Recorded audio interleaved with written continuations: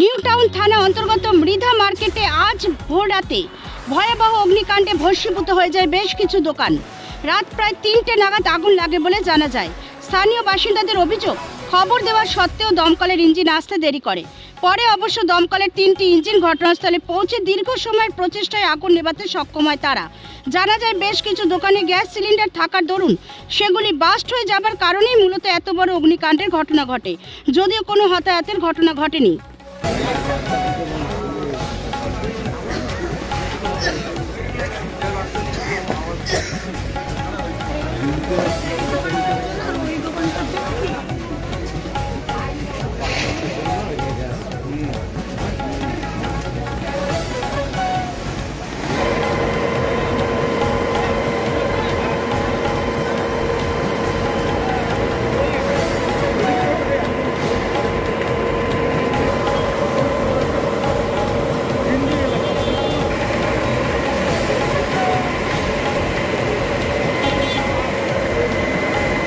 দেখুন কিসের থেকে আগুন লেগেছে এটা বলা খুব মুশকিল। তখন আমরা তো এখানটাতে এসে দেখতে পাচ্ছি আগুন জ্বলছে।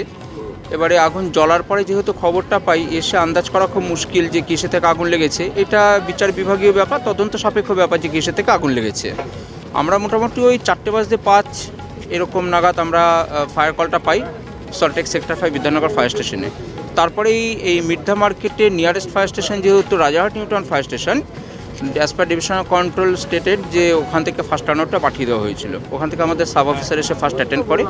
তারা এসে ফার্স্ট অ্যাকশনটা যেটা নিয়েছিল, এখানটাতে অ্যাপ্রক্স ওই বারো, চোদ্দোটা বা পনেরোটা ঘুমটি বলছে as per stated by local people আমাদের পক্ষে তো গোনা সম্ভব না যেহেতু টোটালটাই ইয়ে হয়ে গেছে ম্যাচড হয়ে গেছে।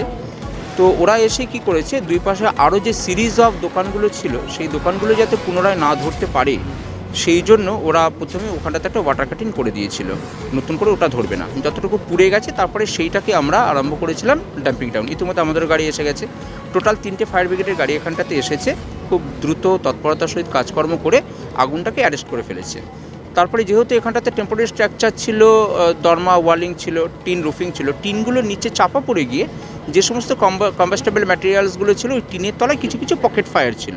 ওই টিনগুলোকে সরিয়ে দিয়ে আমরা ওই আগুনটাকে নেভানোর চেষ্টা করছি। এখনও ড্যাপিং ডাউন চলছে। আগুন তা লাগার কোনো প্রশ্নই নেই আর হতাহতের কোনো খবর আমাদের কাছে নেই। কতগুলো গ্যাস সিলিন্ডার ব্লাস্ট করেছে? দেখুন এখানটাতে আমার সামনে কিছু হয় না আমি একটু যেহেতু দূর থেকে এসেছি। আমার যে প্রথম সাব অফিসার উনি এসেছেন উনি বলছেন মোটামুটি দুটো তিনটে ব্লাস্ট করেছে এরকম একটা খবর আছে। তো তিনটে দশ পনেরো নাগাদ। আমি খবর পেয়েছি। আমার ফাস্ট ফুডের দোকান। এখানে ওই বারো তেরোটার মতন হবে। আ- আগুন দেখুন ওই কীভাবে লেগেছে ওই প্রথম ওই দিক থেকে লেগেছে আগুনটা। লাগানোর পরে এবার সিলিন্ডার ছিল প্রত্যেক দোকানে কম বেশি।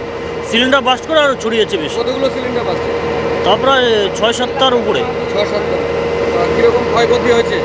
আর ক্ষয়ক্ষতি তো একটা ফাস্টফুডের দোকানে যেরকম আমার দোকানে ডেকোরেশন ফেকোরেশন করা তারপরে ফ্রিজ ছিল একটা নতুন ফ্রিজ বড়।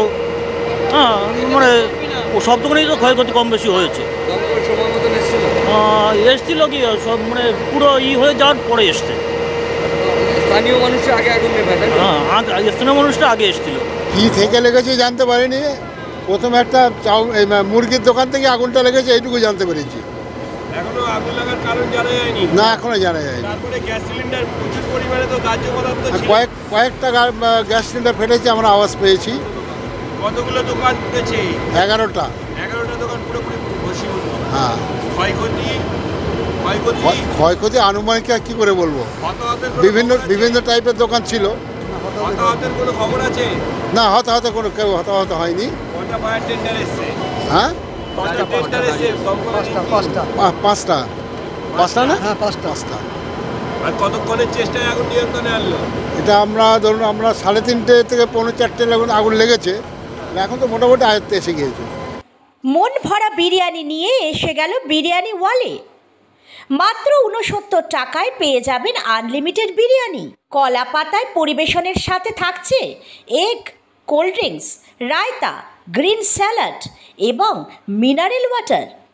সুস্বাদু বিরিয়ানি খেতে চলে আসুন হালিশহর কোনামোড়। রয়েছে হোম ডেলিভারিরও ব্যবস্থা।